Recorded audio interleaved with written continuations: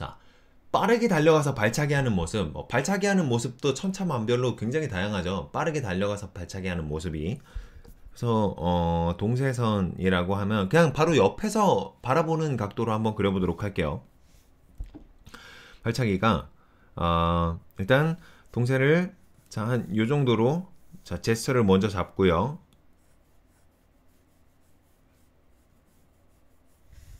이렇게 한요 정도로 제스처를 잡으면 될 것 같아요.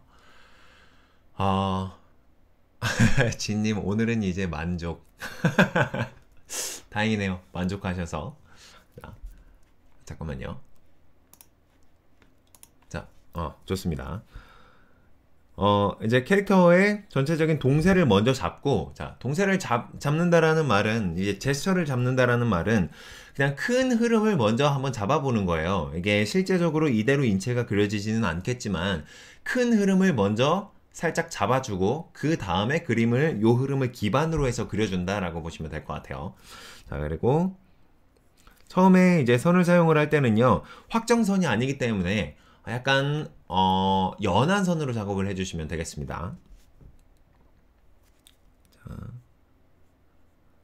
자, 연한 선으로 작업을 해주시면 이제 그림 그리는 속도도 훨씬 더 빨라지고 그리고 이제 어, 그림을 그렸을 때 실제적으로 완성되는 어떤 그 결과물의 퀄리티가 훨씬 더 좋아져요.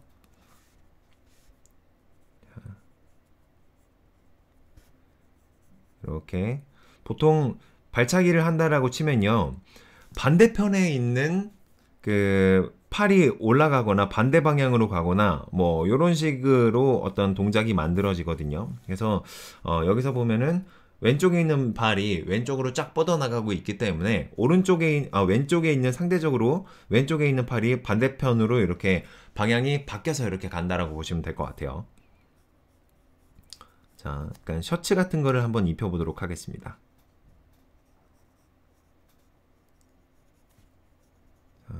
발. 뭐, 옷 같은 거 그릴 때도요, 이제 의상을 제가 그리는 것을 보시면 알겠지만, 어떤, 어, 그 옷주름부터 시작하는 경우가 잘 없어요. 그래서 그 옷주름부터 시작한다라기 보다는, 뭐랄까, 옷의 외곽부터, 외곽의 흐름부터 진행한다고 보시면 좋을 것 같아요. 그래야지 훨씬 더 전체적인 어떤 동세감이나 움직임이나 이런 것들 표현하기가 훨씬 좋고요. 그리고, 어, 하여튼 훨씬 더 간단하게 그림을 그리실 수가 있습니다. 자, 이렇게. 처음에 러프 데생을 할 때 선을 사용하는 거는 어, 굉장히 진짜 말 그대로 정말 러프하게 사용하시면 돼요. 막 지저분하고 막 엄청 지저분하고 더럽게 그게 러프 데생이니까요. 그래서 러프 데생으로 지저분하고 더럽게 그림을 먼저 전체적으로 연한 선으로 그려주시면 됩니다. 예, 처음에는 연한 선으로 그려준다라고 생각을 하시면서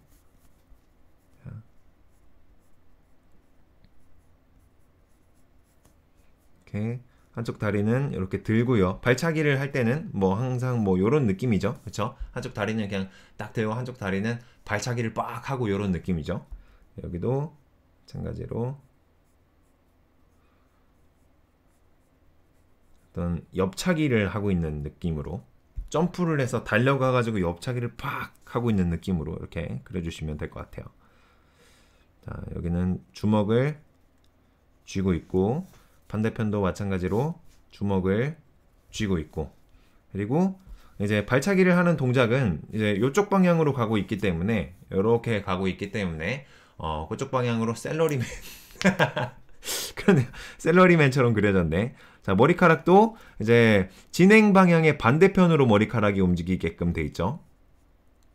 진행 방향의 반대편으로. 왜냐면 어 선풍기를 틀어보면 아실 거예요 선풍기를 틀면 선풍기에 뭔가 종이 같은 거 날려보면 선풍기 방향으로 안 가고 반대 방향으로 가잖아요. 그런 거라고 같은, 어, 같은 어떤 이치라고 보시면 돼요.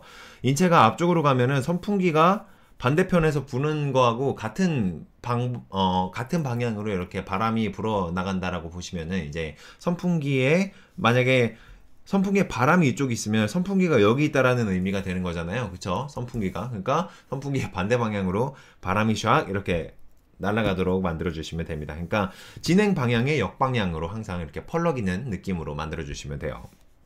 자, 이렇게 됐는데 일단은 자, 이게 기본적인 전체적인 어떤 인체의 흐름입니다. 그러니까 액팅의 흐름이죠. 이렇게 동작의 흐름. 자, 점프를 해서 발차기를 했다라는 느낌을 주기 위해서 약간 두 다리를 전부 다 공중으로 이렇게 들어 올려 버렸어요. 자, 이 상태에서 어, 동세선을 활용을 한다. 동세선은 이제 발 자체에 주는 동세선이 따로 있고요. 그리고 발 외곽에 어, 이제 화면 전체적으로 나가는 동세선이 또 따로 있습니다. 그래서 이 두 개를 어, 병행해서 사용하신다고 보시면 될 것 같은데요. 자, 이게 몸 자체에 생기는 동세선은 일단 이렇게 그려진 어떤 인체가 있다면 요 인체에서 부분적인 자, 요 다리 부분을 약간 실루엣이 남아 있는 상태로 살짝 지워 주세요.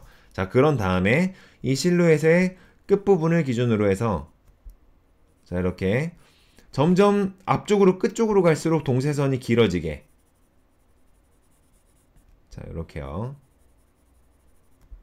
그리고 어느 정도 입체 표현도 어느 정도는 좀 가능한 느낌으로. 자, 이렇게 어느 정도는 어떤 어, 옷의 옷주름의 흐름이라거나 이런 것들이 살짝씩은 보일 수 있을 정도로 자, 이렇게 묘사를 해주시고 이제 어, 요 끝쪽으로 끝쪽으로 가는 거는 완전히 안 보이는 듯한 느낌으로 이렇게 묘사를 해주시면 되고요. 안쪽으로 들어갈수록은 어때요? 몸이랑 이제 가까워지죠. 여기는 이제 발차기를 확 확 안쪽으로 들어가면서 이렇게 들어가는 어떤 느낌이기 때문에 확실히 발차기를 하는 어떤 주체죠 발이. 그래서 여기는 가장 빠르게 묘사를 해주되 아, 몸 안쪽으로 들어가면 얘네가 얘 몸이 주체가 되는 게 아니잖아요. 몸을 던지는 게 아니니까. 일단은 발을 던지는 게 기본으로 이 발차기가 이루어지니까 발차기니까요 그쵸? 그렇기 때문에 이제 몸 안쪽으로 들어오는 영역들은 약간은 그냥 원본의 원래 어떤 형태의 흐름을 그냥 그대로 유지를 하시면서 작업을 해주시면 될 것 같아요 자 요게요. 자 그 이 상태에서 요 뒤쪽으로 이렇게 내밀고 있는 팔도요 마찬가지의 방식으로 진행을 해주세요. 자 여기도 자 이렇게. 자 요런 느낌으로. 자, 여기도 마찬가지로. 그냥 어느 정도 그 손에 어떤 실루엣이 있는 상태에서 이렇게 드로잉을 해주셔도 좋아요. 자, 이런 느낌으로. 그러면은 확 올라가기도 하고 확 내려가기도 하고 뭐 이런 느낌이죠. 그리고 이 상태에서 이제 외적인 어떤 동세선을 긋기 위해서는요. 이제 이 다리의 흐름을 거의 그대로 이렇게 유지를 하면서 몸 뒤쪽이라던가 아니면은 몸 위쪽이라던가 이런데 이렇게 일정한 같은 느낌의 동세선을 이렇게 확 그어주시는 게 중요합니다. 자, 그러면은 이 상태로 약간만 더 한번 구체적으로 진하게 한번 어, 라인업을 해보도록 할까요? 자, 라인업 할 때에도 어떤 그 옷주름 하나하나의 느낌보다는 전체적인 동세의 느낌을 조금 더 중요하게 생각을 하셔서 작업을 진행을 해주시면 됩니다. 자, 이렇게 약간 라인업이 들어갈 때도요, 마찬가지로 이제 동세가 강하게 들어가는 부분들은 이렇게 좀 연하게 처리를 해주세요. 연하게. 자, 지인님이 내가 원하던 강자야. 다행이네요. 자, 그리고 상대적으로 앞쪽에 있는 물체를 먼저 묘사를 한다라고 생각을 해주시면서 자 이렇게 옷주름이 가는 것도 진행 방향의 반대 방향으로 옷주름이 이렇게 만들어지게끔 되겠죠. 그래야지 훨씬 역동적이기도 하고 훨씬 어, 좀 뭔가 있어 보이는 어, 느낌으로 그림이 만들어질 수가 있겠죠. 자. 이렇게 옷주름 하나하나에 신경을 쓰는 게 아닙니다. 동세 자체에 신경을 쓰셔야 돼요. 자, 이렇게 그리고 팔도 마찬가지로 옷주름 하나하나에 신경 쓰기보다는 동세 자체, 동세 전체의 어떤 흐름을 기본으로 묘사를 해주시면 되겠습니다. 자, 셀러리맨이 자꾸 일 시키는 상사한테 2단 옆차기 날리는 거예요. 이렇게 일좀 강화시켜 이렇게 날라차기 푸 이렇게 날라가게 이렇게 좋아요.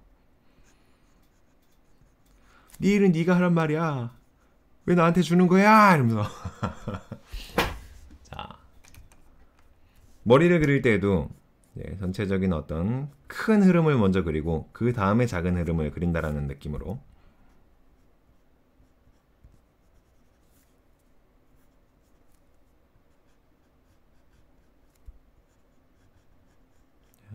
힘을 줬다가 뺐다가 줬다가 뺐다가 하면서 이 안쪽에 들어가는 어떤 그림자 같은 것들도요 동세의 흐름에 맞춰서 이렇게 동세의 흐름에 맞춰서 집어넣어 주시면 훨씬 더 자연스럽게 집어넣어 주실 수가 있어요.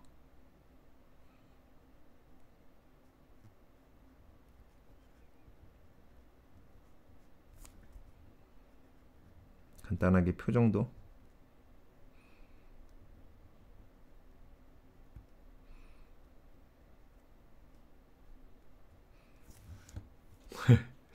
너무 너무 대충 대충의 느낌이 났네요. 음. 와 질문 답변 그래요. 질문 답변 시작했습니다, 여러분. 질문 준비해 주세요. 자, 그리고 저기도 마찬가지로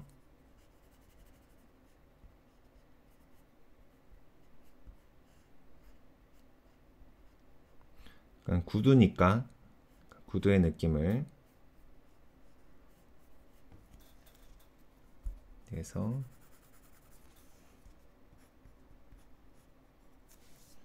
이렇게 요 정도의 느낌이라고 보시면 될 것 같아요. 네. 이렇게 해서 어, 동세선을 사용을 할 수도 있고 그 동세선을 인체 자체에 적용을 시키는 것과 그리고 인체의 바깥쪽에 적용을 시키는 것 요 두 가지를 병행을 하시면서 작업을 진행을 해주시면 되겠습니다. 그럼 어, 이 부분에 대한 답변은 여기서 마무리를 하도록 할게요. 고맙습니다.